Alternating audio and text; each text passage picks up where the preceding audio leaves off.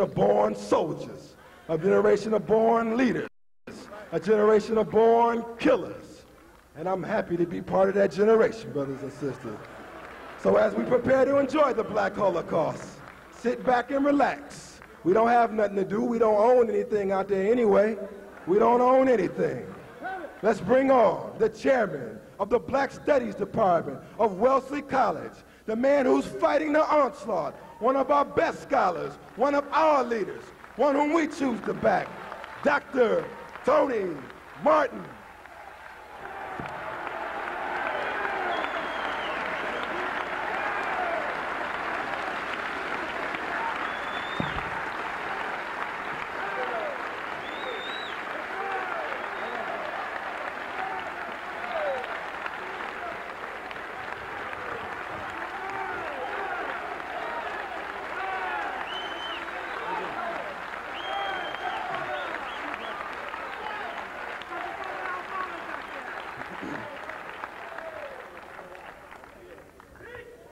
Thank you very much for the beautiful introduction. Thank you very much, Brother Malik Shabazz, for inviting me here for this historic occasion tonight. As Brother Shabazz and others have said, we live in a very exciting time, a time when our people are rising up, a time when we will no longer bow down, as Brother Malik said. My topic for tonight is the African Holocaust. Our people have suffered grievously for the last 500 years. Our people have suffered so much in the last 500 years that it's one of the great miracles of history that any of us have survived at all.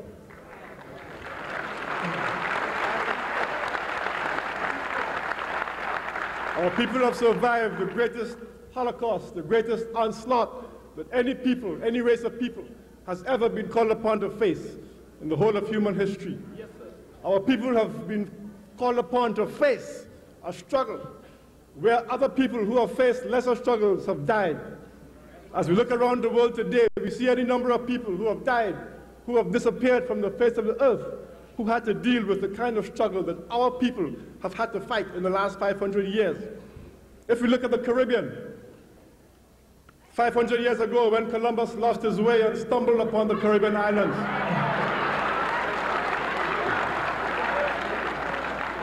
He met a race of people in the Caribbean islands, people called Arawaks and Caribs. According to the Spanish chroniclers and historians who came shortly after Columbus, the island of Hispaniola, to take one island in the Caribbean, was one of the most populous islands they'd ever seen. Some historians estimate that there were anything from 600,000 to perhaps 11 million people on the island of Hispaniola in 1492 when Columbus, 10,000 miles off course, stumbled upon that island. Yes, Within about 40 or 50 years of Columbus's arrival in Hispaniola, there were a few hundred Arawaks left. A whole race of people had disappeared from the face of the earth. The same thing happened in the other islands. The same thing happened in Cuba, in Puerto Rico, in Jamaica, in the Bahama Islands, later on in the other islands as well. You had a whole race of people who disappeared from the face of the earth when called upon to face the kind of onslaught that African peoples have been fighting for the last 500 years. You look around other parts of the world and the story, this dismal story repeats itself over and over again. You come to North America, to the Native Americans, you go to Central America, to South America, you go to Australia with the Aborigines, Australia, a country which for years was bold-faced enough to have what they called a whites-only immigration policy a country which was once the domain of black people, where they exterminated almost entirely the native black race. You have a case of Tasmania, the large island south of Australia, where every single black, white, black man, woman, and child in Tasmania was wiped out, totally wiped out by the white usurpers. And the story repeats itself over and over again, and that's the kind of beast that African people have been struggling with for the last 500 years.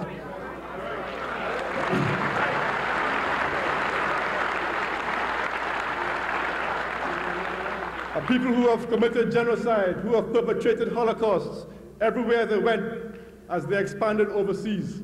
Beginning in the 15th century, in the 1400s, beginning with the Portuguese and the Spaniards, later on with the British and the French and the Dutch and the Danes and the others. You can trace the history of European expansion overseas by its history of genocide. Everywhere they went, they committed genocide. So I said the only reason why Africans have survived is first of all because there were so many of us to begin with. Secondly, because of our great resilience. We were born fighters. We fought a good fight, a fight that nobody else fought. The mere fact of having survived in that situation where other people succumbed entirely is in itself a great triumph, a great epic, one of the great epics of human history. We survived because we had great enlightened leadership. We have been blessed as a race of people over the years with enlightened, fearless leadership. We have been blessed over the years with leaders who were dedicated to the people, who were honest, who had a correct ideology. In recent years, that ideology has manifested itself in a variety of forms of African or black nationalism. The methods used by the European to exterminate us and to exterminate other people were legion. Sometimes the European waged total war against the unfortunate people they came in contact with. Sometimes they waged wanton destruction. In the case of the Caribbean in Hispaniola, the island which today is shared by Haiti and the Dominican Republic, the Spanish abolitionist priest, Bartolome de las Casas, tells us that the Spaniards in Hispaniola and the other islands after Columbus waged wanton destructive fury upon the native inhabitants. They would go competitions among themselves to see who could kill the most so-called Indians, they call them Indians, who could, call, who could kill the most Indians in a day. They would go competitions among themselves to see who among the Spaniards could cut off an Indian so-called head with one blow of the sword. They would gather the Indian so-called notables in a large building, set the building on fire. They would barbecue the Arawaks, 13 at a time, in honor of Jesus Christ and his 12 apostles. Kill them, burn them to death, barbecue them. They would, according to Las Casas, they would cut off the limbs of Indian children and throw them to the dogs. Sometimes they supplemented their wanton destruction by the use of disease. the Europeans introduced a variety of new diseases that Africans and, Ab and Aborigines and people in the Caribbean had never experienced before. Smallpox, as you all know from the North American experience with the smallpox blankets, which were given to the Native Americans.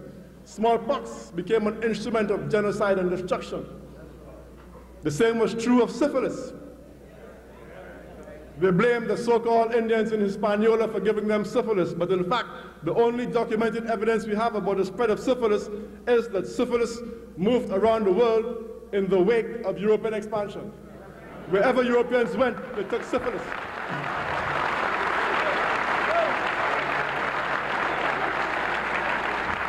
If you trace the history of syphilis around the world, you find you can trace the history of syphilis around the world by looking at when the Europeans, quote unquote, discovered any particular area.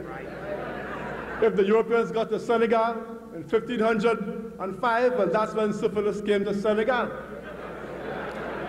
And if they got to Nigeria in 1506, that's when syphilis first appears in Nigeria. And if they got to South Africa in 1511, that marks the beginning of syphilis in South Africa. Everywhere that the Europeans went, syphilis was originally named after whichever kind of European brought it to them. In some places, syphilis was a French disease because the Frenchmen brought it to them. In some places, it was the English disease because it was the English who brought it to them. In some other areas, it was the Portuguese disease and so on. And in the case of syphilis, you have a most bizarre and alarming parallel in the history of AIDS in the last few years. Syphilis in the 1500s was the AIDS of that period in time.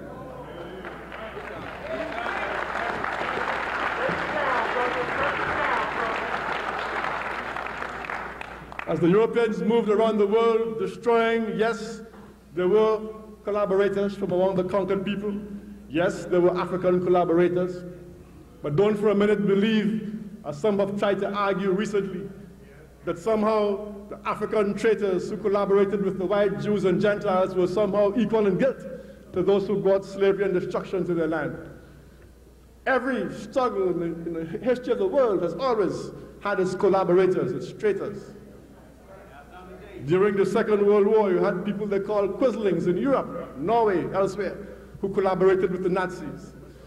During the Second World War, you had Zionists, Jews, Zionists, who collaborated with the Nazis.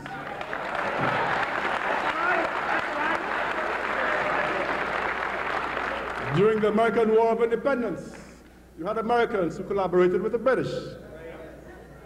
Jesus Christ had his Judas. So collaboration is nothing new. But collaboration does not make the primary responsibility. The collaborators themselves were nothing but secondary factors in a destruction which was engineered out of Europe. Out of all these factors came the slave trade. The slave trade was the real crux of our particular Holocaust. Slavery and the slave trade, the transatlantic slave trade, which brought us here to the Americas. One of the major means of genocide by which the Europeans perpetrated the slave trade was by rationalizing the slave trade. It's very interesting, but even though the slave trade was a physical thing, which involved the total physical destruction of hundreds of millions of our people, an important part of that genocidal destruction has to do with the intellectual pretexts, the excuses, the rationales that the Europeans came up with. Before the Europeans killed us, they felt it necessary to justify what they were doing. For a while, they just justified our enslavement by saying that we were not Christian, we were heathens. Some of the Roman Catholics began Christianizing the slaves, so it became impossible to argue that we were not uh, Christians, and that was the reason. so they looked at other pretexts to justify their genocide. Sooner or later, they came to the pretext that we weren't human. Thomas Jefferson, the great founding father, he wrote a book called Notes on the State of Virginia in the 1700s, in which he argued that Africans were less than human. Hence, they should be justifiably enslaved.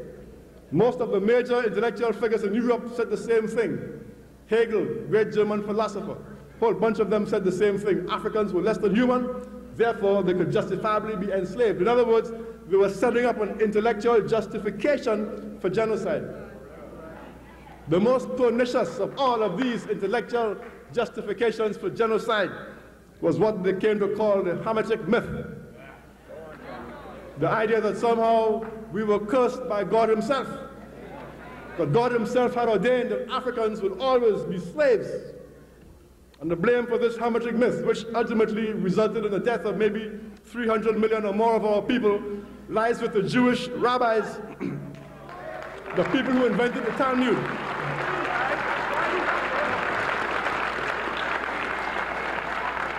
The so-called Talmudic sages, the people who put together that most holy of Jewish books.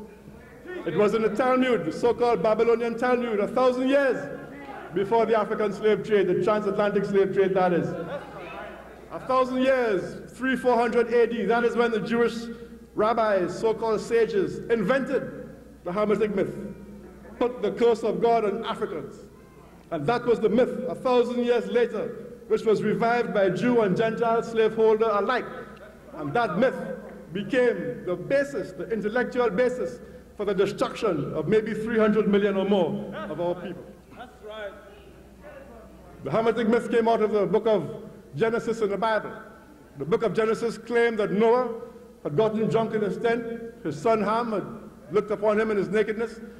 Noah supposedly came to eventually and cursed Ham's son Canaan and his children after him for having gazed upon Noah in his nakedness.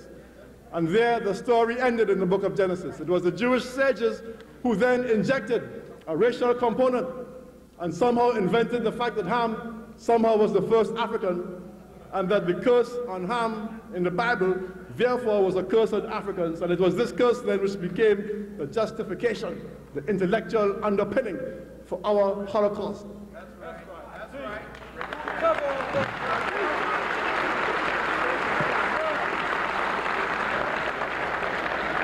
There are many sources for this information, but the source that I like to quote is one which I quoted here in my book, The Jewish Onslaught, and I'm going to read it for you from the Jewish scholar Harold D. Brackman. Brackman has been going around the country of late, writing letters to the New York Times. I even saw a letter of his in the black press and all, saying that People like myself are misquoting him. Brackman made the mistake of writing a PhD dissertation in 1977 from UCLA.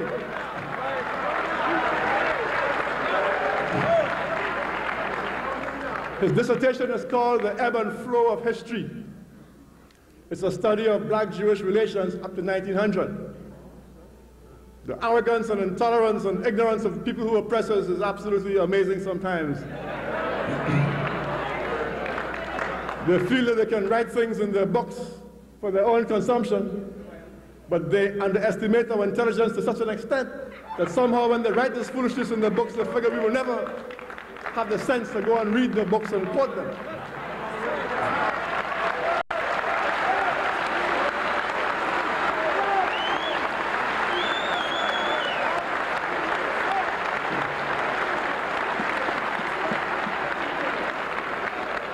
Of course, when we quote them, and when they realize to their great consternation that not only can we read and write, but we are a million times smarter than they are.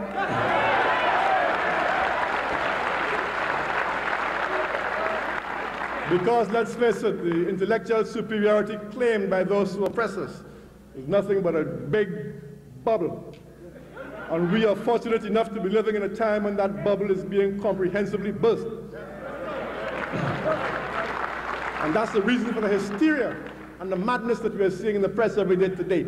That's the reason why day after day in the major media you can see Jewish colonists saying that Jews never enslaved Africans when the record is so clear, so well documented by their own historians. Why would supposedly intelligent people paint themselves in a corner? Why would they deny the undeniable? When the evidence to the contrary is so plain for all to see. The reason is because they have underestimated us to such a degree that now that they are faced with the wrath of black intellectuals, they are forced into hysteria.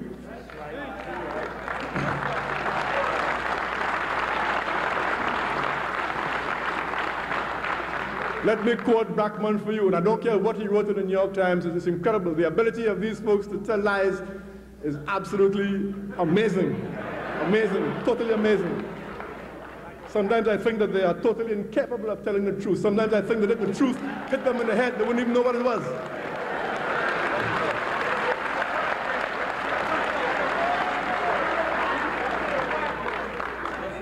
Let me quote Blackman, uh, Blackman, sorry, not Blackman, Brackman.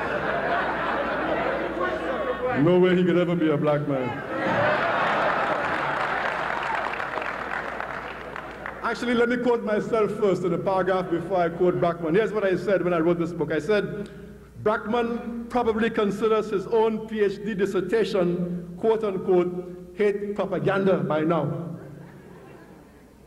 Let me go on to quote, quote uh, Brackman himself. Quote, there is no denying, this is Brackman now, there is no denying that the Babylonian Talmud was the first source to read a Negrophobic, that is a black hating, a Negrophobic content into the episode. He is talking here about the curse of uh, Noah, you know, curse of Ham by Noah in the book of Genesis. He is saying that the Babylonian Talmud, the first, if any of you can get a hold of the letter that Brackman wrote to the various papers, go back and read it and you'll see where he is totally contradicting what he himself is saying here. He's saying here, this is Brackman now, that the Babylonian Talmud, the holy book of the Jews, is the first. There's no qualification. He, he didn't say one of the first, the first, without qualification, source to inject this racist foolishness into the curse of Ham's story. He goes on to say, and, and here is where it begins to get really hot and heavy. Brackman goes on to say that some of these Jewish so-called sages began to embellish the story as they went along and add little frills and details. Some of them began to say that black folks became black and ugly because of this curse. Black folk got thick lips because of the curse. And black folk got bulging eyes because of this curse. Black folk got black skin because of the curse. According to Brackman, and I know people always think I'm going insane when I say this, but I'm going to quote it for you in a hurry before you think I'm going insane, but according to Brackman, these Jewish rabbinical sages even went so far as to say that black men got long penises because of this curse. this is the holy book of the Jews now. Talmud. Quote, and here I'm quoting Brackman, and again, this is the intellectual basis upon which the annihilation of 300 million or more of our people rests. This is the pretext upon which the slave trade was built. Let me quote Brackman, quote, the more important version of the myth, that is the Hamitic myth, however, ingeniously ties in the origins of blackness and of other real and imagined Negroid traits with Noah's curse itself. According to it, that is according to this uh, myth, Ham is told by his outraged father that because you have abused me in the darkness of the night, your children shall be born black and ugly. That's the Talmud.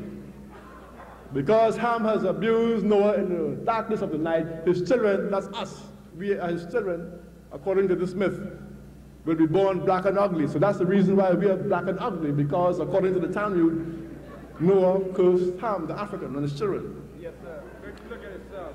Because you have twisted your head to cause me embarrassment, they shall have kinky hair and red eyes. So that's the origin of our kinky hair and red eyes. It's all there in the Talmud. Because your lips jested at my exposure, there shall swell. So if you ever wondered why black folk have thick, thick lips, there it is.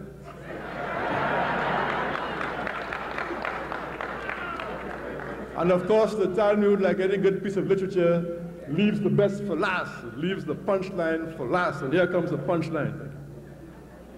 And because you neglected my nakedness, they, that is the children of Ham, us, the males at least, because you neglected my nakedness, they shall go naked with their shamefully elongated male members exposed for all to see.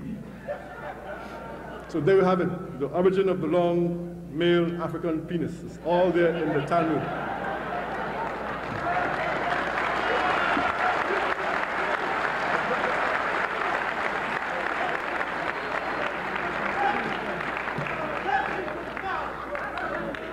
Could it be a question of jealousy, maybe? I don't know. I don't know, I'm just asking. A rhetorical question. so all of this then was the underpinning for the African slave trade, the slave trade, the worst Holocaust in history. The killings began in Africa itself. Lord knows how many millions of Africans died before they even reached the Atlantic Ocean. The historians tell us that sometimes Africans were marched a thousand miles to the coast. They were held in slavery on the coast sometimes for months, waiting a full cargo for a slave ship.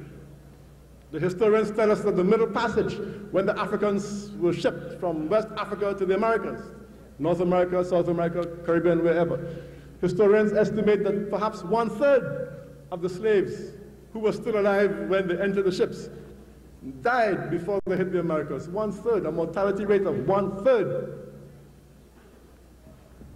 You have horror stories of slaves being thrown overboard, there's a famous case concerning a ship called the Zong, where in order to, to, to, forge an insurance claim, a ship actually threw the slaves overboard and then pretended they were captured by pirates or something and you know, made a false insurance claim because the cargo was in, insured. Cargo.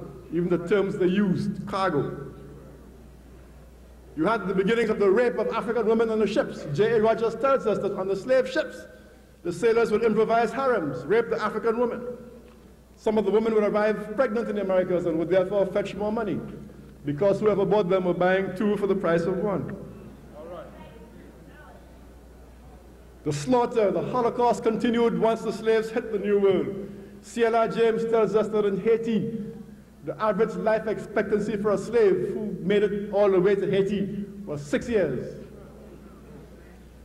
It was economically more viable for the slave master to work the slave to death in six years rather than treat the slave well, keep him or her to a ripe old age, You know, economists operate. They draw charts and diagrams and graphs and stuff.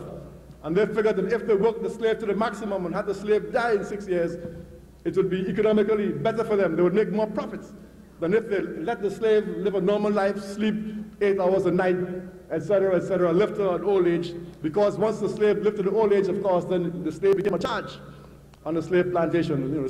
The tortures which were visited upon our people are absolutely amazing. We all know that the whip was the normal accompaniment of the workday of the slaves. Slaves were whipped 100 times, 200 times, 300 times. Slaves were made to walk around with special collars with prongs sticking out. The idea being that they could not sleep. You had this collar around your neck with prongs sticking out. So there was no way you could find a comfortable position to sleep. You know, no matter how you lay, lay down, you know, you, you, you'd be in an awkward position. Your neck would be sore and stiff. Slaves were castrated as punishment. Slaves were dismembered, had their limbs cut off, ears cut off, noses, lips cut off. Slaves were branded like animals. Slaves were often denied the right to, to get married, raise a family. C.L.R. James tells us of a way of destroying slaves in Haiti called burning a little powder in the ass of a nigger, where they would stuff gunpowder into the anus of a slave and blow him up. J.G. Stedman, a British writer who went to Suriname in South America in the late 1700s, he wrote about what he saw there. He saw slaves and he actually drew diagrams, pictures. He wrote about slaves being drawn and quartered, tied to a large wooden structure and having all the bones broken with a heavy piece of iron or wood or something. The slave would be stretched out on this rack, wooden rack, and somebody would come and literally break all of the, the slave's bones. There's a picture drawn from life in Stedman's book, narrative of a five years expedition against the revolted Negroes of Suriname. He has a picture of a slave who was hung up, hung up from a gibbet with a hook, with a chain hanging down and a hook through his ribs. His hands tied behind his back, and he was left there to hang by his ribs until he died. He lay there for about, about a week. Stedman tells us about a large Jewish settlement in Suriname, a place called Jew Savannah where the Jews proliferated as slaveholders. Stedman says the Jews in Suriname were the most cruel and wicked of all of, of all of the slaveholders. He talks about a Jewish woman who ran a red hot poker through a slave woman killed her. Red hot poker. Stedman tells us about a Jewish slave owner called Schultz who raped the mother of a young slave called Jolycoeur. And the rape of mothers was a frequent occurrence in slavery, not, not only in Suriname, but everywhere that slavery existed. If, you, if you've ever wondered why the word motherfucker has become such a, a term of, of scorn in our community, that's the reason why.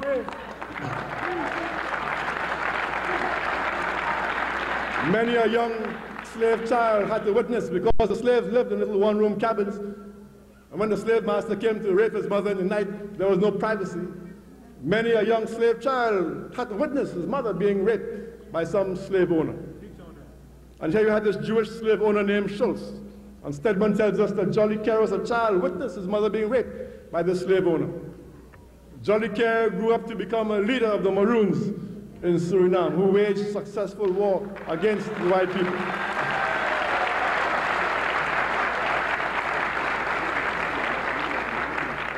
And as fate would have it, the time came when Jolycoeur grew up to become the leader of rebellious slaves, and he was waging war against the slave owners, and he captured the same Schultz, captured him, the man who had raped his mother.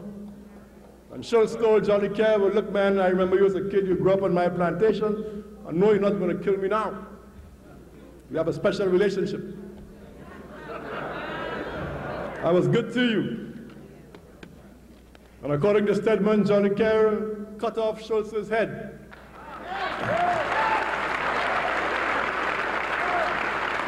He cut his head off and he played bowls. You know, he went bowling with it on the beach.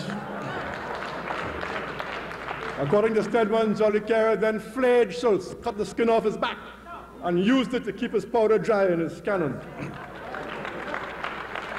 So that was at least one motherfucker who found his just results. results.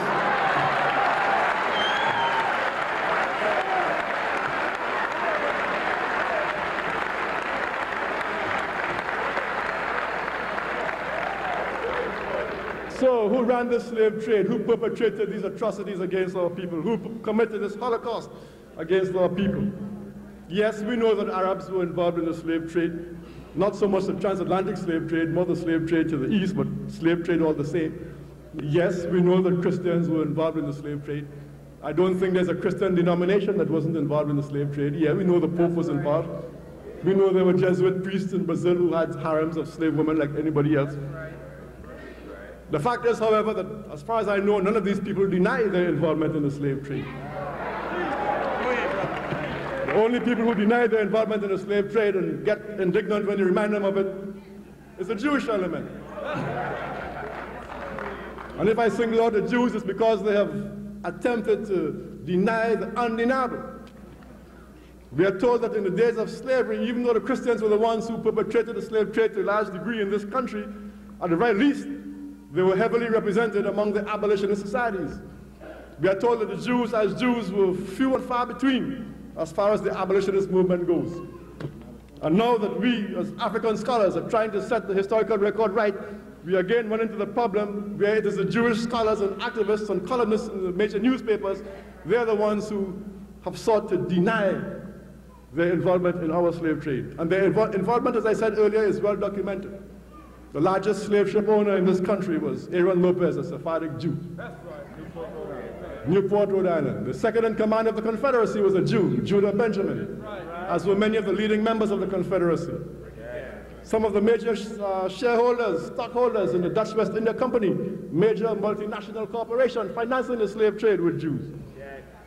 A large number of the slave ship owners, the Portuguese slave ship owners who brought slaves to the Americas were Jews. David Brinkley, and this week with David Brinkley a few months ago, discussing my case at Wellesley College, was talking some foolishness there one Sunday morning. He was saying that Tony Martin is an anti-Semite at Wellesley, he's talking foolishness.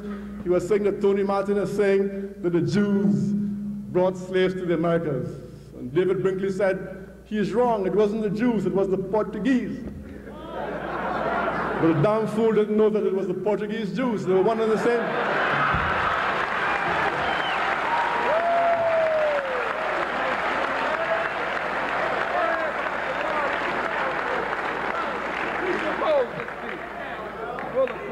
Results of this Holocaust in the New World are plain to see. As early as the early 1800s, African Americans were almost 20% of the population in this country. Today, African Americans are something like 12% or thereabouts. Black folk have actually declined as a percentage for a variety of reasons. Part of it is the continuing Holocaust. Part of it is the infusion of a lot of European immigrants to try and swamp the black population. And that continuing Holocaust has continued unabated even after slavery. In Africa itself, people forget that even in Africa itself, after slavery ended, the Holocaust continued as, as though slavery had never ended. In fact, it became worse in many areas. Right. In the country they call the Belgian Congo, now Zaire, between 1880 and 1900, the Belgians killed about 12 to 20 million Africans in that one little country, the Belgian Congo. Where is the Holocaust Museum to those 12 to 20 million Africans killed in that one country in 20 years? In this country, we had the incredible phenomenon of lynching. From the time this, the Civil War ended up until fairly recently, a few decades ago, almost every single day in this country, black men, women, and children were lynched. They were burnt at the stake. I saw the photograph, as many of you saw, Brother Khalid here, um, you know, in the papers this morning, with, with a poster of a black man burning, being burnt at the stake. Black men, women, and children were hung from trees, from lampposts. I'll never forget the headline I saw of, of a Mississippi newspaper from 1919. It said, 3,000 will lynch Negro tomorrow. That was the headline. The governor of the state, Governor Bilbo, said he was powerless to stop it. That was the will of the people. What did Europe benefit from our Holocaust? The reason why Europe is preeminent in the world today, economically, militarily, is precisely because of our Holocaust. Europe's ascendancy in the world today was literally built on the blood, sweat, and tears of Africans.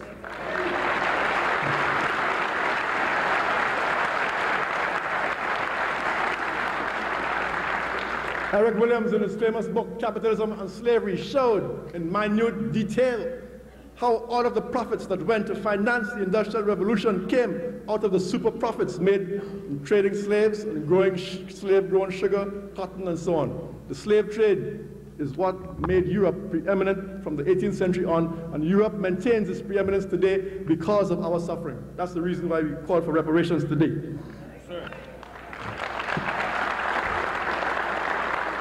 What did Europe gain from the slave trade? Europe gained raw materials. It gained a dumping ground to send its misfits.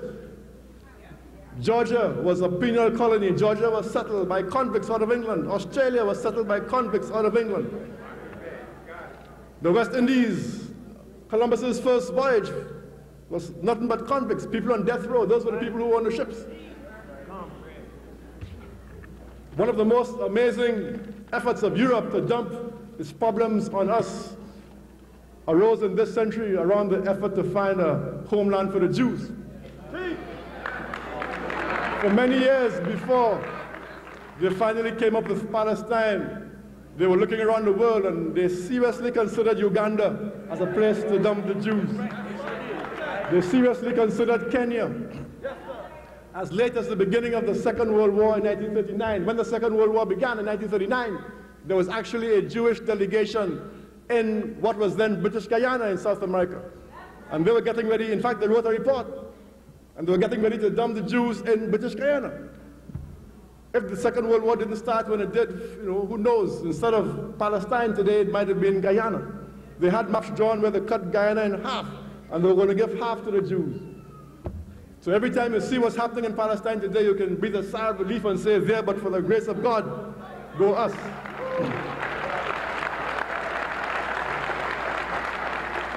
Did Africans resist? Of course, Africans resisted.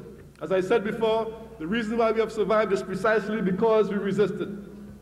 Jolycoeur resisted. Nat Turner resisted. And very often it was those slaves who had some education, who had what, in the eyes of the white slave owners, would have seemed privilege. Those were the slaves very often who made the sacrifice to make common cause with their less fortunate brethren. Denmark Vesey, who led one of the largest, most powerful slave conspiracies in America, was a free man. He was a free man. He put his freedom and his life on the line to go back and raise the slaves. David Walker, who wrote the most powerful indictment against slavery, was a free man in Boston, paid with his life. Nat Turner was able to read and write. He was a literate slave, one of the few literate slaves. When Nat Turner got his little group together, there was a man with him that his confession, so-called, called Will, Will the executioner. And Nat said to Will, why do you come here? Why do you come here?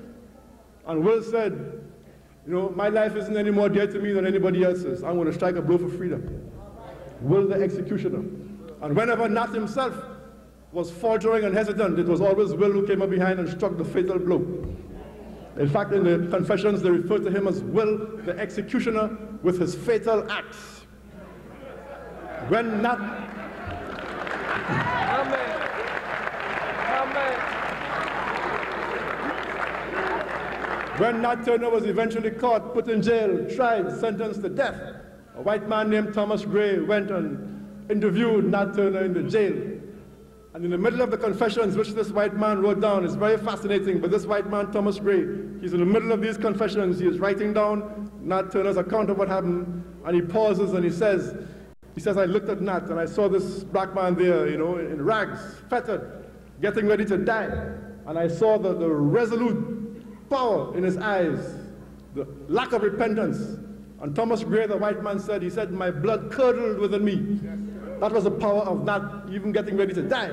The power, the power of resolution, of truth, that revolutionary zeal. And Thomas Gray asked Nat, he said to Nat, aren't you sorry for what you did? They're going to kill you, they're going to hang you tomorrow.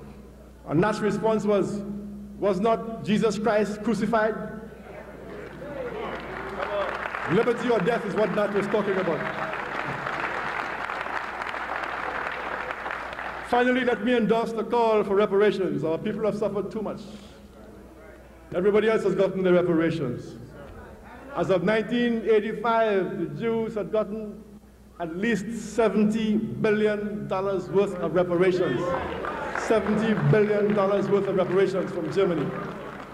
And that didn't include all the billions of free grants and aid that the US government gives them every year.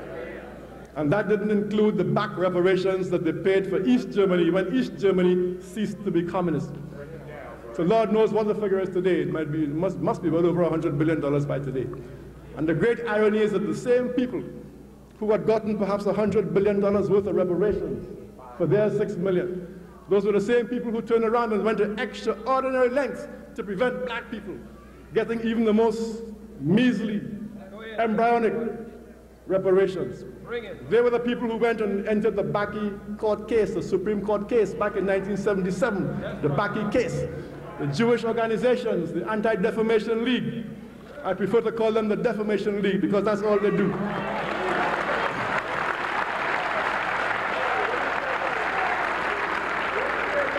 The ADL and the other Jewish organizations, they went out of their way in a case that did not concern them. They filed what the lawyers call friends of the court briefs to argue against affirmative action quotas for black people. Here were people who had gotten perhaps $100 billion, not million, but billion dollars worth of reparations, going to extraordinary lengths to prevent African Americans from getting two or three places in a medical school by way of reparations. So clearly, justice is on our side. Like I say, we live in a very exciting time. We live in a time now where we have conquered fear. We live in a time, I believe, when, as James Brown used to say back in the 1960s, you remember he had a song, Say It Loud, I'm Black and I'm Proud? Say It Loud. In that song, James Brown says that we demand a share. So we are at the point now where we demand a share. We are at a point now where we are no longer afraid. We are at a point now where we have buried or are in the process of burying Uncle Tom.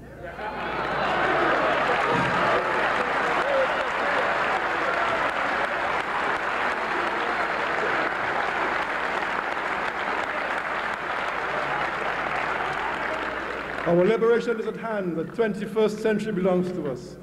So let the Jews and the Gentiles rage. It doesn't matter. Yes, sir. One God, one aim, one destiny. Thank you very much.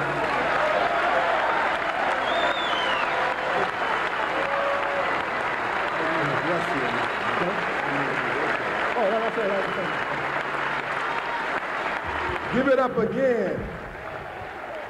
Dr. Tony Martin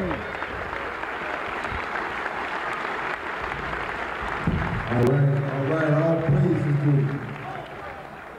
the man who's feared, revolutionary research scientist, Steve Cokely.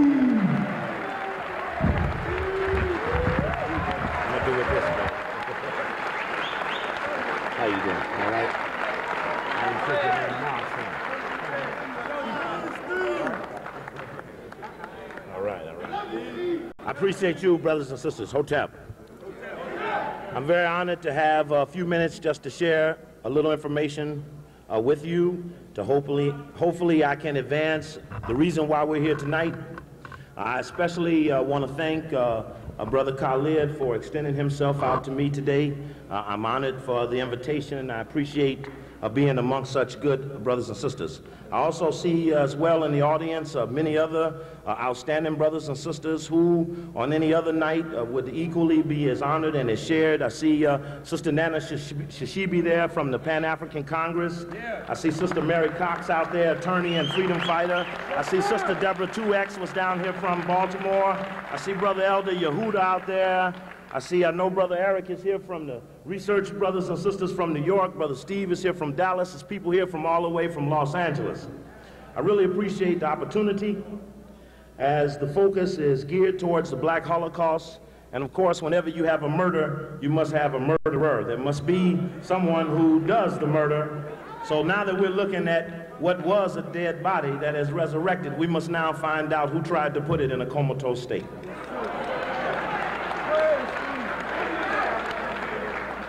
For what you will find in all of the people who have come to stand before you as warriors, and those of you who are warriors in your own right, it is our goal to pursue the core of negativity. We have agreed that somewhere at the bottom of our problem there is a core or a main group of key individuals and institutions and organizations who have pulled off consecutively over the years negative activity against our people without retribution. Part of the failure to retribute has been lack of knowledge. Part of what Brother Malik has tried to do here today is to fill the gap and to provide our people with access to information that is denied. I think what each of these men could vouch for in their moments of greatest attack from the enemy, that in the midst of all the greatest sources, I remember Dr. Jeffries on the Donahue show pulling up every book of the hunkies he could find to relay that he didn't need dogma or rumor from the black community to verify what was being done to us. They had in their own arrogance and braggadocious nature, they had said all the things we needed to say. And the brother stood there with the evidence. And I remember Brother Tony Martin standing moment after moment, bringing up the names of those people, institutions, historically and current, in his attack on the people who have attacked him. And he knows there was a point when they looked at him and said, you know, it really ain't about the facts. You see, what you have witnessed in the spirit of the scholar, because it alleged that we lacked the knowledge or the information of the fingers on the points of the people who were doing it, was that when the scholars arose with the information, they and I and others found out that they really weren't interested in the truth. It was bigger than that. Just we took the gray area out of the attack and found out that their attack wasn't based on fact. They were, in fact, the haters they were calling us. I recently, I recently had the honor of just leaving the University of Illinois where I went back for free to retaliate against whites who had attacked me. I don't uh, very often talk to whites. I do not uh, talk to the media. I do not entertain some of the ones I see here today. And as a strategy, one of our cameras must get a picture of all those who are here to take pictures of us. That must happen. We must have always accessible the pictures and the profiles. When Dr. Collett pointed out that Richard Cohen was in the front row, that's when he left. Finger pointing and naming the names does have a way of moving the enemy. So I had the honor after spending two, three hours of dropping Carroll Quigley and talking about the Trilateral Commission and the Bilderberger Group and the Skull and Bones and the Rhodes Scholars and the Boule. The little Jewish students the next day went to the newspaper and said that Cokely must have got his information out of Mein Kampf. But no, those were good white scholars because, as I've always said, because we've been so indoctrinated, we know it takes a good white scholar to prove to our people that the truth is the truth us saying it has never been enough, and we bore that burden in spite of that, and still it wasn't the facts. So if it isn't the facts, then it must be the force. I salute you in the spirit of the Bogard, because the facts will back up the rationale, and, but it'll be the Bogard that will put it in force. Uh, I'm on uh, just quickly tonight to try to uh, add a few names and a few insights. Uh, I'll be here again on June 3rd uh, with the trial of the oath takers. I've chosen to attack the oath takers because as I've gone from city to city and attacked the uh, Greek connection, I found out that there were oaths and rituals that people absolved their faith to and support that prohibited them from being ultimately loyal to black people. These oath takers are really not personal, they're institutional. And the army takes an oath, the lawyers take an oath, the doctors take an oath. These oaths, and only in rare case like a good lawyer like Mary Cox and a strong doctor like Dr. Alim, who would break the oath to defend their people first and foremost. These are rare moments in our community, but the oath takers are a part of our enemy structure. I know uh, Dr. Collett isn't here now, so I'm going to save my opening for the close because it's something very personal for him. Uh, as I began to come out of college and fight against, uh, I always wanted to be a freedom fighter. You know, there's no spot in our community called freedom fighter. And everybody, if you ask them if they had the choice, if they could fight for their people all day and all night, that this would be one of the most honorable things a person of our race would want. But there is no position called freedom fighter, for the right to fight for black people is something that you have to do, as some would want you to think, after you got through working for someone else. But time has passed and the way has been made that more people have come across on their own. But when I first started out in the black community in Chicago, I was offered a job at, a, at, a, at an organization. It was called the Jewish Council on Urban Affairs. It was headed by a white man named Milt Cohen, who recently died, and a white woman who is still active in Chicago named Jane Ramsey. I say that because every time we say a name in front of the hunkies who are here to report on what we say, tomorrow they will report to those people that their names were mentioned, and this is the type of tension we need to put on the enemy. You might not know all who they are, but they'll spend some time defending them tomorrow when we've called their names in front of you. So that will make the offense spend some time defending the things that they have come to offend us about. So, but what I found out was that the black community in Chicago was being watched that the only way you could effectively pull off a Holocaust on a group of people in the now society is to try to watch the emergings of them, the organizing and coming together of them, the projection of values and strength by them. Those are the things that the enemy sticks his thermometer deep down into our tongues and up our butts to find out when it is and what it is they think they can pull off. In Chicago, I found this early warning system. It was funded by the United Way. So today I suggest to you, if you're going to stop the black Holocaust, you're going to have to stop the good hands of the United Way. I say that because, and listen, I'm going fast, so we don't have no time for applause. I bring the United Way up because it was the United Way that formed an early warning system, which is what the spy thing is called an early warning system. Our eyes and ears, a listening post, these adjectives. And this early warning system had formed a coalition which was to monitor what was going on in the black community of Chicago. And they went out and empowered 25 organizations to be snitches against the wishes of black people. And even though the goal of this project was to monitor developing racial tension and to take advanced intervention when necessary, listen to the language, they only watched black people. But deep inside the early warning system, I saw people from the Urban League. I saw people from the NAACP. I saw Operation Push.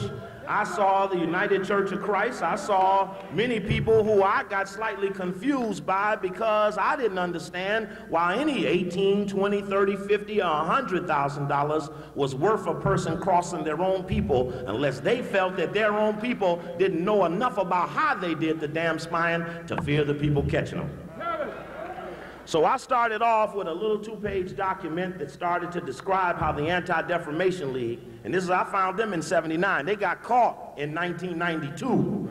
But I caught them in 79. It just took a long time for the people to believe that Brother Cokely was as credible as the district attorney in San Francisco.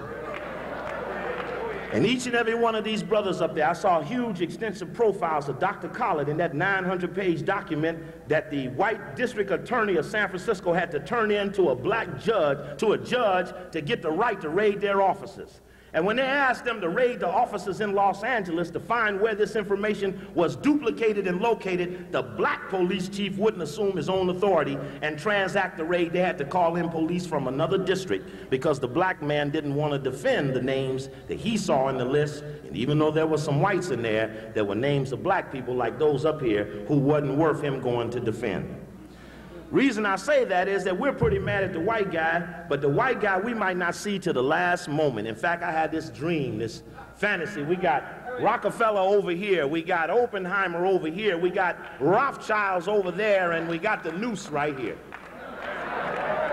And the crimes that had been read out before the people. And I know it was a little white guy here from Australia. He said, You Steve Cokely? I said, No, he went that way. But I turned to the brothers in the back I was talking to and I said, you see, that guy, he come over here from Australia because the reason he want to know is that his godfather is Harry, Ernest, and, uh, and what's the other Oppenheimer? Uh, Harry Jr. Those are his godfathers. So when we stand up and say that the man who helped today enslave New Zealand and enslave uh, uh, Australia and enslave all of Africa is led by the Oppenheimer family, yes, they will come from the BBC and the CBC and the Australian news to hear that the names of the hunkies who have hidden for so long are now on the street in D.C. They're on the street in L.A. They're on the street in Kansas City and Detroit, and the little people have decided that the big ones are not going to make it. But, so I want to say a name or two so that the whites will go away and effectively spread the cancer to the others that we mention their name. Now, there was a case that the Anti-Defamation League had spied on the brothers and sisters, even 12,000 people in organizations. But what you don't know is how it was that the case was settled that the Anti-Defamation League did not get criminally and violated. There are some weird white people out here, and I want to tell the whites that there are whites who are leaking information about them every day to people who they believe have the courage to use it. And whites had made claim that the Anti-Defamation League of the United States works right through the National Security Council. And when I did a little check over at the National Security Council, and I remember when they said they were spying on Chris Hani when he came over here, and I tried to figure out what the connection was. Then I looked up and found that the head of the African desk of the National Security Council is a white man who's named David Steinberg. Now, David Steinberg's name ain't never been mentioned in the history of the black community since he done took that position. He know that. But today we introduce his name into the arena as a group of people whose names must never be forgotten, and you should take the time to look him up in your phone book so that you know when you, where he lives where Jim Woolsey lives, who heads the CIA. Where does Warren Christopher live, who runs the State Department? The CIA jams Africa through the embassies in Africa, and that's where they hide the CIA. So Warren Christopher and the Deputy Secretary of State, Strobe Talbott, and Peter Tarnoff, the former president of the Council on Foreign Relations, who's the third in command at the State Department, those names should be in the forefront of you, as well as Winston Lord's name, as well as David Ross's name. And of course, I want to repeat again David Steinberg because it was him who got the Anti-Defamation League out of that criminal case when they spied on other people. Two things I want to leave you with. One is on July 8th to July 15th, Brother Cokely is having a conference in Baltimore. And the reason he's having a conference in Baltimore is because it appears as if there was a mistake made by the Hyatt Regency Hotel in the harbor there, and it looks like Brother Cokely and the Boule, Sigma Pi Phi, are going to be having a convention at the same time, July 8th to July 15th in Baltimore, Maryland. Oh, oh, stop, now stop, stop, stop. Don't waste my time. And how many of you since LA is coming, Detroit is coming, Chicago's coming, they have the furthest to come. It will cost them the most to get here. But the key to the bottom 10, for the first time in the history of our race, brothers, the bottom 10 is going to meet the top 10. And I know, I know, I done drew out a lot of strange occurrences on this because everybody don't want everybody to know how clear the top 10 works on behalf of protecting the honky. But we have resolved the riddle of their Grecian Sphinx, and now the day has come that the bottom 10 must confront the top 10 to protect the safety and sanctity of the race. This must happen. How many of you would be willing to come to the Hyatt Regency in Baltimore during this 10-day period? All right, stop, stop. I'll be downstairs. I'm in a booth downstairs. We can talk about that. My tapes are down there, and the other vendors down there ask that we make sure that they know that you know they're down there and they need your support too. Last thing, it would be uh, a great remiss if we didn't take our chance to put on the record that we wanted to enforce some retaliation against the enemy. And around this country, in fact, just two weekends ago here, the Republic of New Africa, which I was on a forum with, in fact, with Brother Chokwe Lumumba, they ratified a resolution that I proposed, which was for economic sanctions against non-black businesses for the months of November, December, and January. This must be. This must be. Now, I've been attacked right here in the black press for suggesting that in Washington by the Negro element in African clothes, but that's all right. Uh, stop now, stop now, stop now. But I need you to understand that when the hunky walk away and he said, well, what did they say they were going to do? He writes it down. Sometimes that's the vaguest of all the lists. We must, and I ask you to ratify a resolution that calls for economic sanctions against non-black businesses for those three months because that's the months that 60% of all goods are sold. And if we were ever to punish the whites, this is something anybody can do. All you gotta do is hold your pockets. You don't even have to say nothing. You don't have to believe in it. You might not be spending nothing no way. At least take pride now in not being able to do it. So I hope all of you would be willing to do that so that when they go away, they know it's some economic retaliation on the buffer. And in closing, The New York Times, almost a year ago today, April 18, 1993, Sister Nana, openly advocated the recolonization of Africa, and I want to say fuck them just to that, because, oh, stop, stop, stop, stop, because the audacity of trying to draw a question about our brother and his statements about Africa, when in fact you were on the record a year ago yesterday Colonialism is back and not a moment too soon. Some countries are not yet fit to govern themselves, and then they end by saying, We're going to get Africa. So I know that, brother, you stepped on a wire of theirs that they didn't really want attention being focused on, but we want to let them know that we have not forgotten them and that we know them with the Council on Foreign Relations. Foreign Affairs, openly advocating a year ago today, we're going to make Africa beg to be recolonized. I don't know if you know about the past Holocaust, but you better dig in and get ready against this now one. There's some now people who feel so arrogant and so alone that they can openly do this just with whites and think we're not listening. So we'll put the pressure on them. And one last thing. Brother Khalid, do you remember when we were in Atlanta at the Revolution 101 conference? And at that conference, we were sitting down and looking at the Anti-Defamation League's um, attack on uh, black leaders. A brother Jeffries in there, a brother Martin will be in the next one, a brother Malik gonna be in the next one. Uh, but when we looked at that report, you looked at me and you said something that I mentioned to almost every audience I go to because it touched me personally.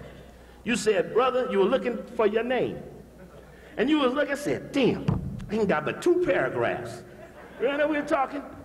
And uh, no, he said something that was very heavy. He said, one day my son is going to look at me and say, Daddy, why you only got two paragraphs in the destruction of the enemy? And he looked at me and he said, Brother, shit, I got to do better than this. he did, he did.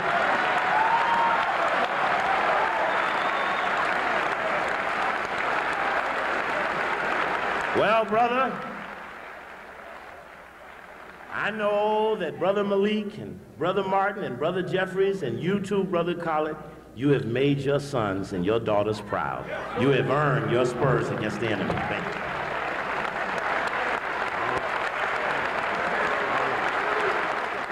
you. Once again,